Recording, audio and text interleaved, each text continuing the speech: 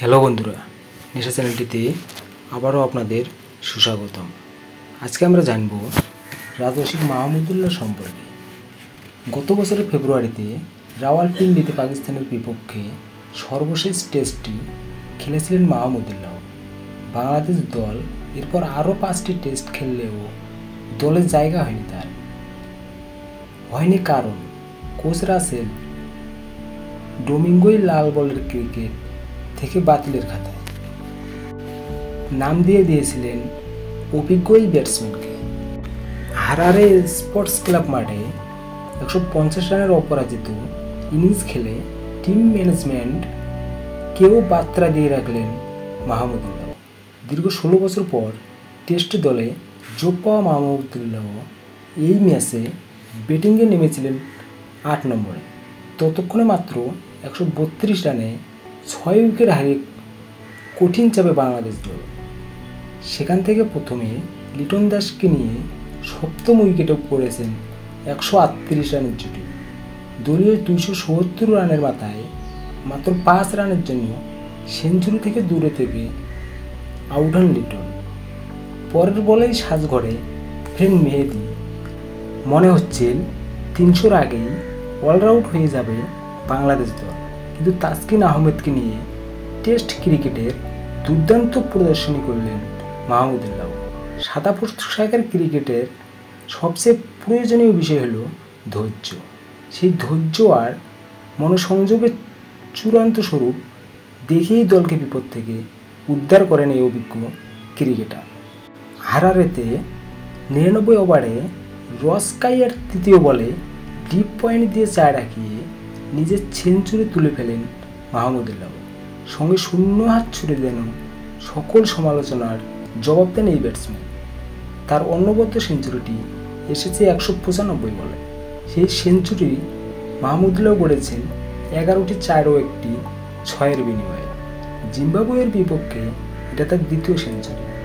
দু হাজার নয় সালে অভিষেকের পর টেস্টে প্রথম সেঞ্চুরিটা করেছিলেন মাত্র আট মাসের ব্যবধানে, যেটা নিউজিল্যান্ডের বিপক্ষে দুই হাজার দশ সালে। এরপরে দ্বিতীয় সেঞ্চুরি পেতে মাহমুদুল্লাহকে অপেক্ষা করতে হয় আরও আট বছর। দু হাজার আঠারো সালের দ্বিতীয় সেঞ্চুরিটা আসে এই জিম্বাবুয়ের বিপক্ষে। এরপরে আর থেমে থাকতে হয়নি মাহমুদুল্লাহকে একই বছরে ওয়েস্ট ইন্ডিজের বিপক্ষে তৃতীয় সেঞ্চুরিটা বের করে এই মাহমুদুল্লাহ। দুই হাজার উনিশ সালে নিউজিল্যান্ডের বিপক্ষে নিজের চতুর্থ গতকাল জিম্বাবুয়ের বিপক্ষে পঞ্চম সেঞ্চুরিটা তুলে ফেলেন এই ব্যাটসম্যান কেরিয়ার পঞ্চম সেঞ্চুরির পাশাপাশি নবম উইকেটে তাসকিনকে দিয়ে একশো একানব্বই রানের জুটিতে বেশ কয়েকটি রেকর্ডের নাম লেখান এই মাহমুদুল্লাহ। বাংলাদেশের ইতিহাসে এই উইকেটে এটিই সেরা।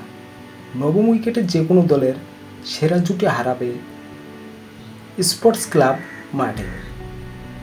শেষ পর্যন্ত মিল্টন সাম্বার ঘূর্ণিতে তাসকিন আহমেদ ব্যক্তিগত পঁচাত্তর রানে বোল্ড হয়ে ভেঙেছে রেকর্ড করা জুটি। একশো চৌত্রিশ বলে তাসকিন কেরিয়ার সেরা ইনিংসটিতে ছিল এগারোটি বাউন্ডারির মার দলীয় একশো ছেচল্লিশ রানে তাসকিন ফেরার পর আর বেশি দূর এগোয়নি বাংলাদেশের ইনিংস। ইবাদত হোসেন এলবিডব্লিউ এর ফাঁদে পড়লেন শূন্য রানে। সাত রান যোগ করে চারশো আষট্টিতে থামে টাইগাররা। তবে মাহমুদুল্লাহ শেষ পর্যন্ত অপরাজিতই ছিলেন।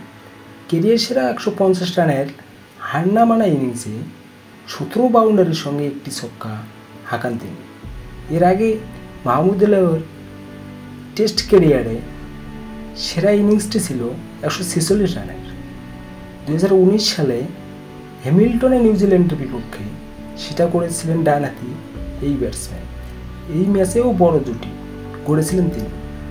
সৌম্য সরকারকে নিয়ে পঞ্চম উইকেটে দুশো পঁয়ত্রিশ রানের জুটি করেছিলেন মাহমুদুল্লাহ যেটি কিনা বাংলাদেশের টেস্ট ইতিহাসের সপ্তম সেরা জুটি। দেড়শো রানের ইনিংস খেলে মাহমুদুল্লাহ আরও একবার দেখালেন। তিনি ফুরিয়ে যাননি, বয়সটা ছত্রিশ। ছুঁই হলেও দলের বিপদে হাল ধরার মতো সামর্থ্য এখনও আগের মতোই আছে তার।